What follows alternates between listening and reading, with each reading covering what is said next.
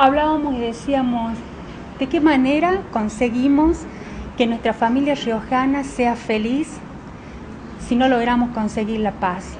Si no logramos transmitir el amor que necesitamos transmitir a nuestros jóvenes, a nuestros hijos.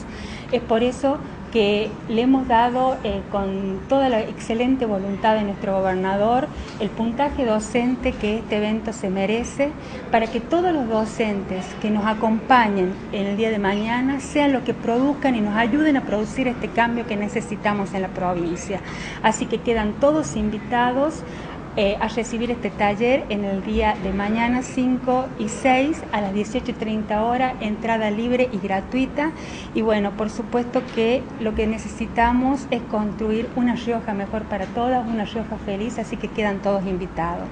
Y eh, el día 8, eh, el Día de la Mujer, el Día Internacional de la Mujer, los actos centrales van a ser en Malanzán, Departamento Juan Facundo Quiroga donde eh, también eh, vamos a comenzar en un colegio secundario, en horas muy tempranas, en el colegio secundario Juan Vera, eh, donde se van a hablar de los derechos de las mujeres.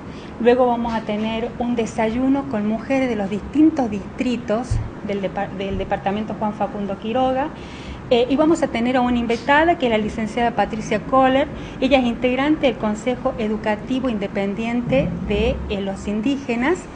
Eh, donde qué queremos lograr también con este evento, donde todas las mujeres del interior que van a estar participando eh, podamos conocer los avances de la mujer en su territorio, cómo fue avanzando, hacer ese intercambio cultural y poder nosotros también eh, traer a esta mujer de tierra adentro que podamos fortalecerla como gobierno, eh, podamos llegar a todo el interior de la provincia. La Rioja somos todos, así que desde la base principal del Día de la Mujer es de que las mujeres sean el pilar del cambio de la familia que necesitamos.